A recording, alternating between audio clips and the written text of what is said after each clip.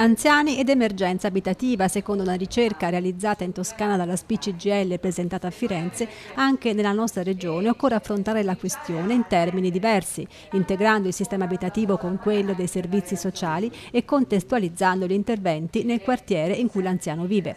Molti problemi sono di ordine strutturale. Il 70% delle case abitate da persone con più di 65 anni presenta problemi di agibilità per scale interne non a norma, dislivelli eccessivi, bagni troppo piccoli, armadi troppo alti, porte e corridoi troppo stretti e solo il 2% dei lavori effettuati sugli edifici sono stati finalizzati all'abbattimento delle barriere architettoniche.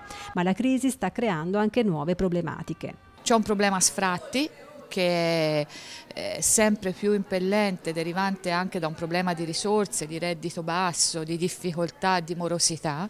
C'è un problema che riguarda anche le abitazioni delle anziane per renderle più adeguate a una situazione di invecchiamento.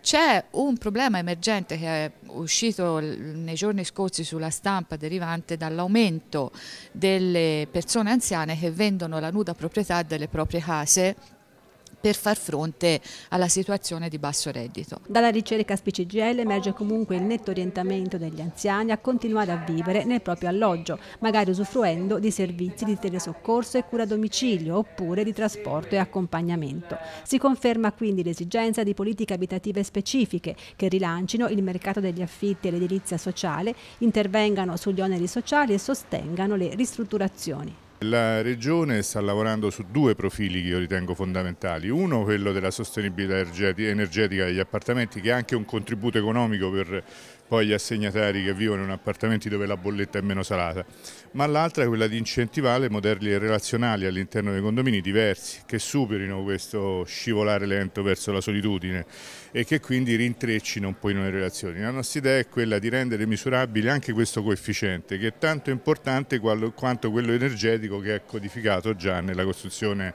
degli appartamenti e degli alloggi.